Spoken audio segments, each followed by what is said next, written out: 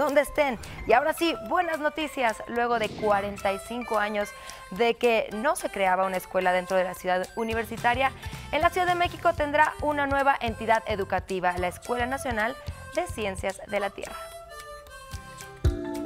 En buenas noticias, luego de 45 años de que no se creaba una escuela dentro de Ciudad Universitaria en la Ciudad de México, tendrá una nueva entidad educativa, la Escuela Nacional de Ciencias de la Tierra.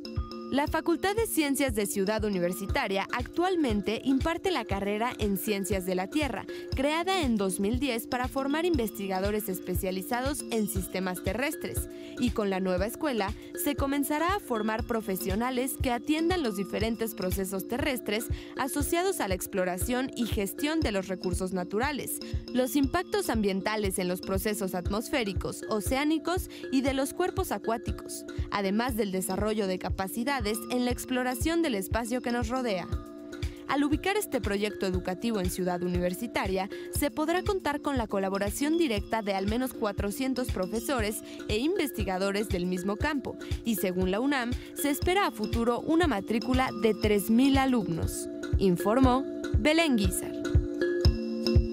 Imagen Noticias con Paco Sea, lunes a viernes 5.50 am. Participa en Imagen Televisión.